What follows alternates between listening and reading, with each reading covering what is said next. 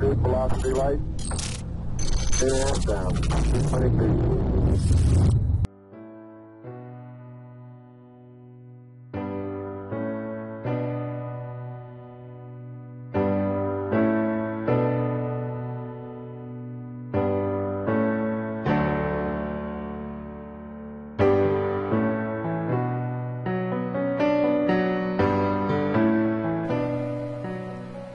Bonjour, je vais vous apprendre aujourd'hui comment utiliser le logiciel de visioconférence. Donc euh, vous ouvrez votre navigateur Google et vous tapez ici meet.git.si.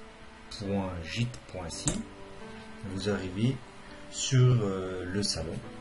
Donc c'est comme ça que ça, donne une, une salle de visioconférence.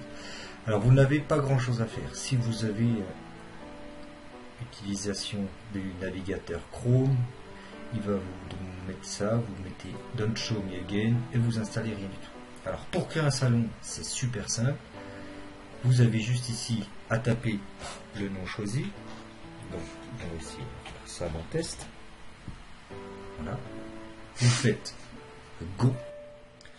Donc lorsque le salon est créé, vous arrivez dans cet environnement-là. Et la première chose que le navigateur va vous demander, c'est est-ce que vous pouvez utiliser euh, votre microphone et votre webcam? Donc vous mettez autorisé euh, pour euh, l'occasion. Alors dans cet environnement, qu'est-ce qu'on y trouve?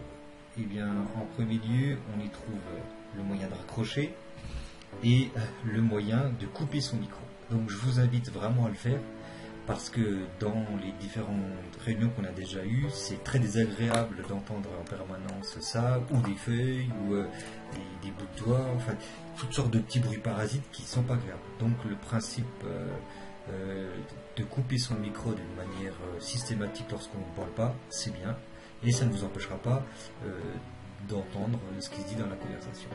Donc après, le micro, je le coupe quand je ne suis pas en conversation. De toute façon, c'est marqué sur votre... euh, vous voyez, ici, c'est marqué que c'est coupé.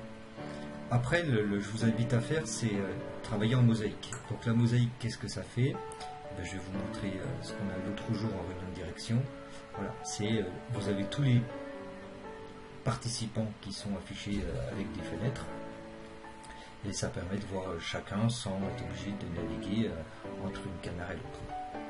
Pareil, comme êtes dans des environnements personnels, euh, je vous invite à faire attention à ce qu'il y a derrière votre, caméra parce que euh, la, caméra, elle ne filtre pas les, informations et euh, après qu'on ne soit pas taxé de faire de voir les, environnements personnels. Donc ça c'est la première des recommandations que je vous fais. Donc ici on est sur Jitsi, on teste notre salon, donc j'autorise parce que j'y reviens. Et après, comment on va faire? Eh bien, ce salon, il faut le partager. Donc, je sais que certains ils ont réussi, mais pour d'autres qui sont en difficulté, eh bien, vous utilisez, vous utilisez pardon, cette information-là, et puis euh, vous faites un copier. Vous prenez euh, votre euh, navigateur, vous ouvrez un message, vous envoyez à qui vous voulez, et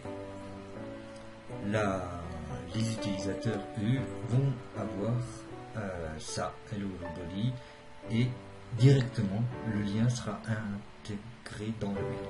Donc il y aura juste à cli- cliquer sur euh, ce lien-là, et vous arriverez dans le salon tout naturellement. Lorsque vous avez terminé, eh bien, vous raccrochez avec le bouton rouge. Euh, lorsque vous êtes euh, donc là j'ai ces icônes là parce que forcément je suis en, en visio en train de vous filmer donc il ne peut pas utiliser ma caméra.